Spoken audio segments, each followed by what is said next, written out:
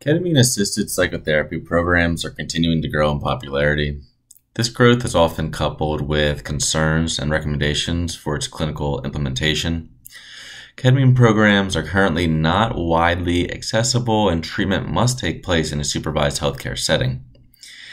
In person treatment is a barrier for a lot of clients. Uh, this barrier was made greater by the COVID 19 pandemic.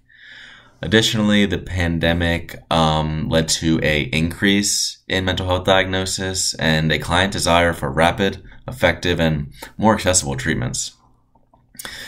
Ketamine assisted psychotherapy programs are typically only provided in specialized centers and are have many restrictions like program capacity, uh, cost, and client preference for virtual treatment.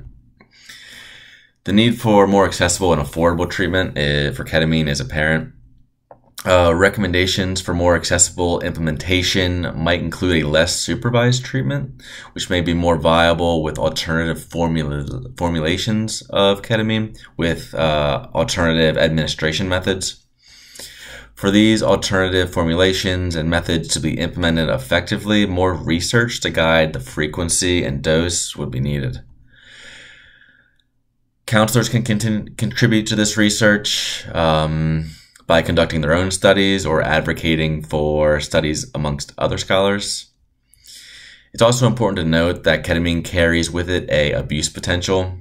Just like other medications with the same potential, caution must be taken when treatment is unsupervised or prolonged over a long period of time. Just like with any other medication, a cost benefit analysis of treatment should be considered only after other options have been exhausted.